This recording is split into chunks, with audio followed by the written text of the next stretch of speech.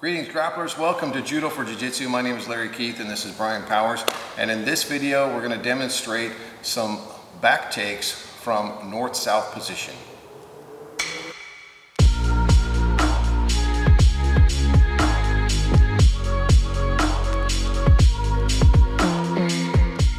So north-south position is one of the positions I feel is underutilized in Jiu-Jitsu. I think it's a great position to control your opponent, um, it's a great position with submission opportunities and it keeps you away from the opponent's legs for them, uh, hard for them to recover guard uh, from that position. So I think it's, I think more study, more work should be put into developing your north-south game. So what we're gonna do today is show a couple of different um, attacks to uh, get to the back control. So the first one here, well, first of all, before we get to that, there's three basic north-south positions.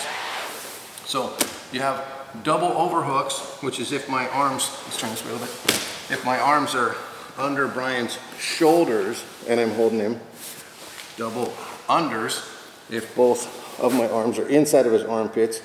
And then you have an over-under option, what we call broken or modified north-south position. So, and I'm also coming in at a bit of an angle here. This is one of my favorite positions. So, but today we're going from the, the double um, overhook. So I'm underneath Brian's shoulders and I'm pinning him down and I'm looking to strip this gi off of him here and get close into, wind it up, up deep into his armpits. Now from here, I'm gonna come up to my knees and I'm gonna lift him up and pull him to me. When I pull him to me, I'm gonna windshield wiper my legs, sit back, take the back, feed the lapel, and go into a kata hajime.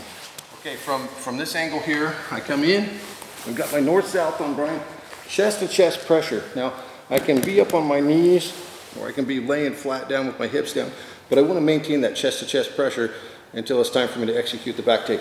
I wind that gi into his armpit and kind of cross underneath him a little bit on both sides. And then I bring my knees in, I posture up, and I pull him to me.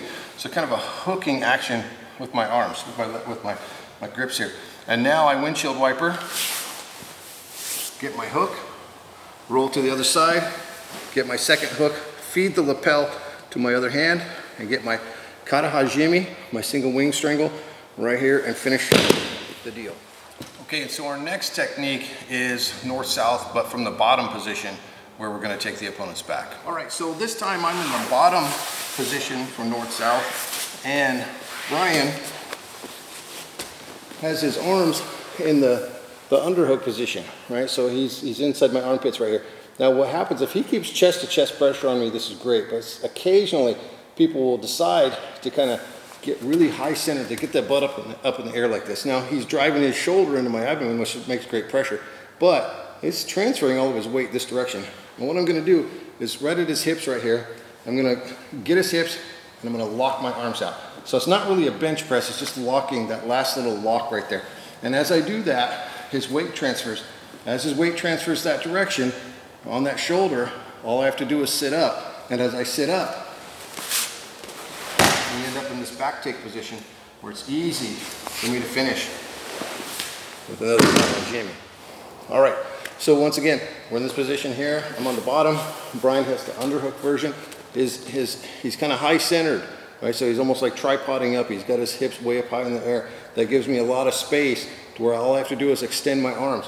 I get on his hips, I extend, and when I extend, his weight starts to transfer towards my feet.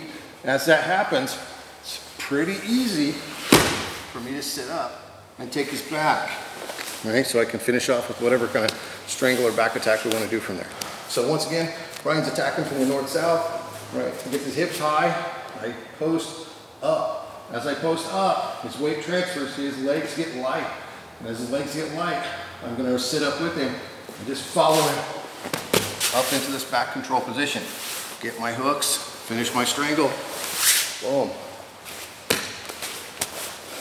So a caution with this, be aware of where your practice partner's head is at. Um, make sure it's off to the side so that you don't hurt his neck when you, when you, uh, when you sit up with him. You wanna make sure the head is cleared off to the side uh, to protect your partner. Thank you for watching this video. If you find some value in it, please be sure to give it a thumbs up. Make sure to uh, subscribe to our YouTube channel and click on the notification tab so you don't miss any future videos. And remember, when you learn a technique, you know one technique. When you learn a concept, you know a thousand techniques. So until next time, we'll see you on the flip side.